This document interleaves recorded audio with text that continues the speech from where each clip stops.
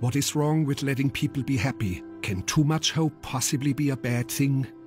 Hope is irrational.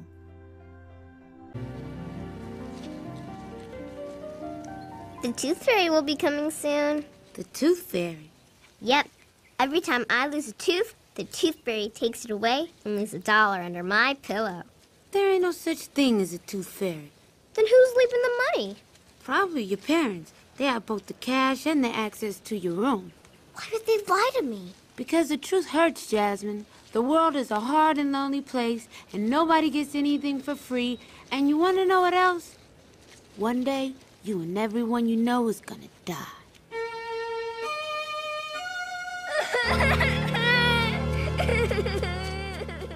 Is it possible to see something so bad that it actually hurts you physically? In other words, can too much black television kill you? Actually, Granddad, Christmas is a pagan holiday. And Jesus probably hates you for celebrating it. There ain't gonna be no Scrooges in this house, boy. Look, Granddad, it's clear from the scripture that Jesus was not born in winter.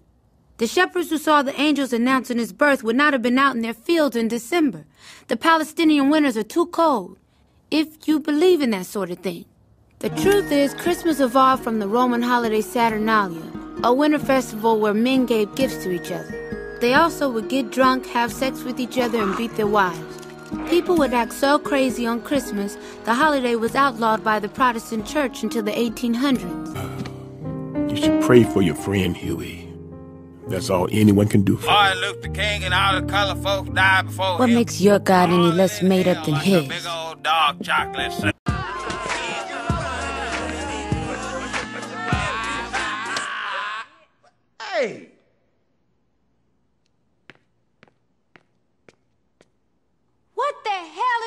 With you people? Every famous nigga that gets arrested is not Nelson Mandela?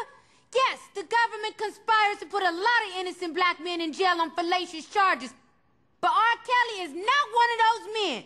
We all know the nigga can sing. But what happened to standards? What happened to bare minimums? You a fan of R. Kelly? You want to help R. Kelly? Then get some counseling for R. Kelly. Introduce him to some older women. Hide his camcorder. But don't pretend like the man is a hero. And stop the damn dancing. Act like you got some goddamn sense, people. Damn. Don't playing around here. Man, can you believe it? In a few days, we're gonna have a black president. Aren't you excited, little man? Eh, Eh. What's and supposed to mean? just means eh.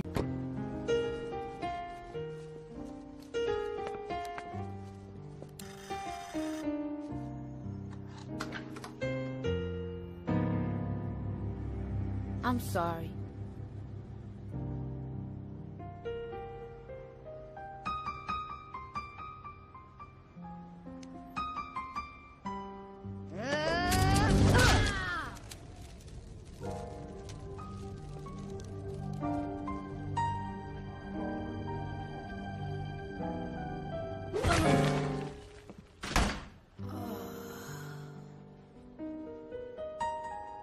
Being the bigger man is overrated.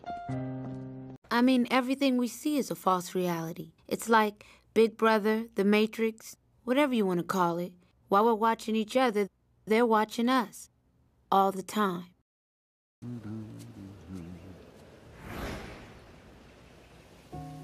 Obi-Wan Kenobi said, Your eyes can deceive you. Don't trust them. It seems to be getting harder, distinguishing reality from the illusions people make for us, or from the ones we make for ourselves. I don't know. Maybe that's part of the plan. To make me think I'm crazy. It's working. Vision? What do you know about my vision? My vision would turn your world upside down, tear us under your illusions, and send the sanctuary of your own ignorance crashing down around you. Now ask yourself, are you really ready to see that vision? Gangstalicious got shot! Again?